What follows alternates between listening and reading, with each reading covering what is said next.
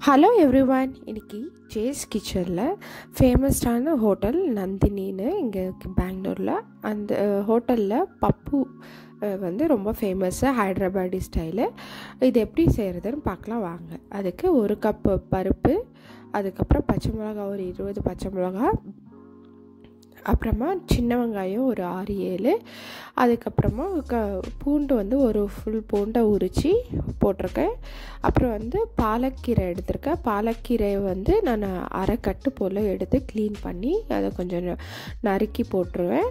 அதுக்கப்புறம் ஒரு அஞ்சு தக்காளி அதையும் வந்து இந்த மாதிரி பெரிய பெரிய க்யூப்ஸாக போட்டு அதையும் சேர்த்துக்கலாம்.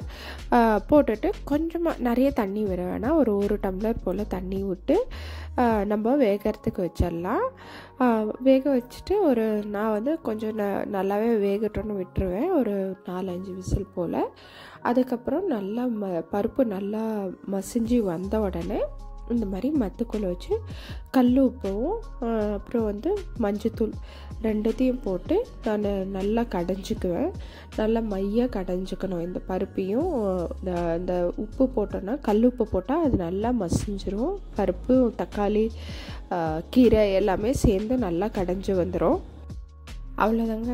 இதை வந்து நம்ம தாளித்து எடுத்துக்கிட்டோன்னா சூப்பரான பருப்பு ரெடி ஆகிடும் இங்கே பாருங்கள் தாளிக்கிறதுக்கு ஒரு பாத்திரம் வச்சிடுறேன். அதில் வந்து எண்ணெய் நல்லெண்ணெய் ஊற்றிக்கிறேன் உங்கள் ஆப்ஷன் தான். இதில் வந்து நீங்கள் கீயும் போட்டு தாளிச்சிக்கலாம். அதுவும் ரொம்ப நல்லா டேஸ்ட் கொடுக்கும்.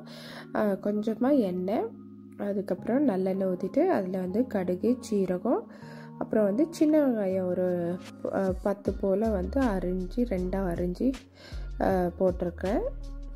பாருங்கள் சீரகம் போட்டுட்டேன். கடுக்கும் சீரகமும் நல்லா பொரிஞ்ச அப்புறம் நான் வந்து சின்ன வெங்காயம் ஆட் பண்ணிக்கிறேன். அதுக்கப்புறமா பெருங்காயம் போடுவேன். நீங்கள் ப பெருங்காயம் ஆப்ஷனல் தான். உங்களுக்கு பிடிக்காதுன்னா விட்டுறலாம். பெருங்காயம் வந்து எனக்கு ரொம்ப பிடிக்கும். இந்த தாலில் அதனால் பெருங்காயம் போட்டு நம்ம கடைஞ்சி வச்சுருக்கிறத ஊற்றிட்டோன்னா அவ்வளோதாங்க. ரொம்ப டேஸ்டியான பப்பு ஹைதராபாடி ஸ்டைல் பப்பு ரெடி ஆகிடுச்சு இது வந்து சுட சுட சாதத்தோட நெய்யோடு வச்சு சாப்பிட்டோன்னா ரொம்ப நல்லாயிருக்கும்.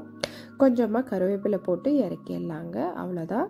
பாருங்கள் ஒரு கொதி வந்தோடனே இறக்கிடலாம். அவ்வளோதாங்க. சூடான சாதத்தில் இந்த பருப்பு ஊற்றி அதை நெய்யும் ஊற்றி சாப்பிடும்போது ரொம்ப டேஸ்ட்டாக இருக்கும்.